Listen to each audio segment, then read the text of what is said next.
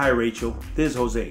I'm here to turn my wife loose for junk drawer clutter. If she don't know where to put it, guess where it goes? In the junk drawer. Extra pencils.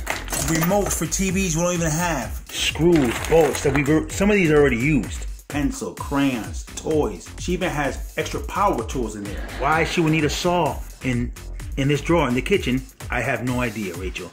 She even keeps the twist ties from the bread.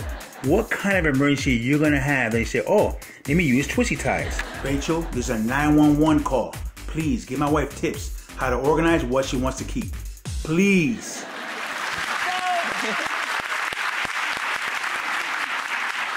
So obviously, Jose and Luz are here. Yes. And so are there many drawers of junk. Yes. In fact, maybe we should show everyone. So grab a drawer. I will. And let's just pour it out here on the table, shall we? Just to get a sense. You want me to dump it? Yeah, just very gently.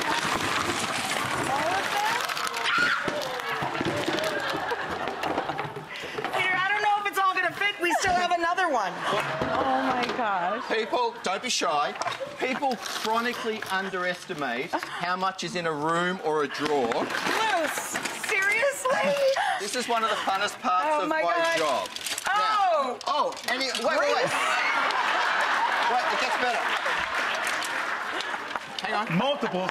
First thing we need to do is we need to stop using the word junk drawer. We know. This is now a utility drawer mm-hmm. because if you think junk, you think I can throw any trash into it, anything that I don't know This what is to do. This is literally trash. Let's just have a look first up of a few things that should not be in any junk drawer. For example, paperwork and mail, invitations, cards. Show me that piece of paperwork there, Ray. Uh, should not be in a junk drawer. Should not be in a utility drawer. Set up. Oh, set up. sorry. Don't touch. set up a standing file like this Okay. with different files for different items, and put this somewhere in the house. Maybe a kitchen, t- maybe a uh, kitchen counter, a home office.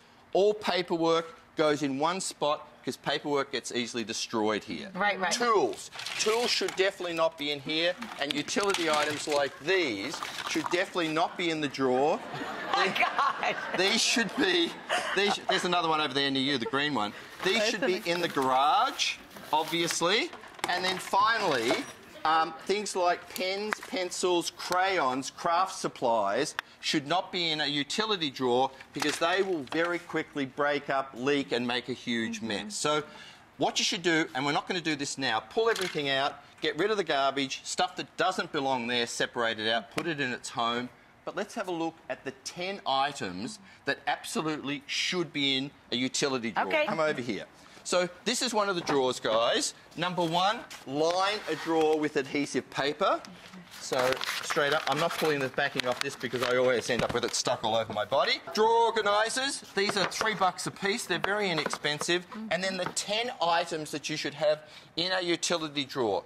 You should have a lint roller. You always Yeah, that's need a good this one. at some stage. Mm-hmm. You should also have a flashlight. Another good one. Okay, some pens and pencils, not a huge number, but if you have a space in the utility drawer, you know where they live. Definitely a pair of scissors. It's a good one. You should have a lighter if you have a gas fireplace or candles at home. Have that. You should also have a measuring tape. Absolutely. That's a good one. Yeah. You should have a battery tester because we all. That's a great one. Are the batteries working? Are they not? Well, we'll Right. just put them in the drawer till we can find out. Yes. Have a battery tester, super glue.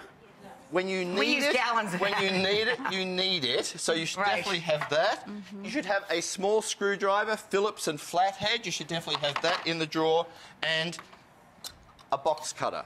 Because we all end up getting packages and that these days have a box cutter that you can quickly and easily here. find. Where my, uh, uh, I'll, I'll put this here and this here. Now, 10 items, then modify the drawer to suit yourself. You might want to have car keys or something like that in there. So, but you can see here, you can quickly and easily find Yeah, things. use this as a roadmap. Yeah.